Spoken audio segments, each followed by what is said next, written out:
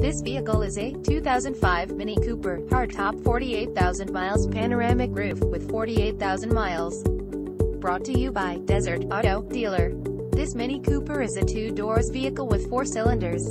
For more information please visit us at desertimportexport.com or call us at 760-895-5285. Thank you for watching our video.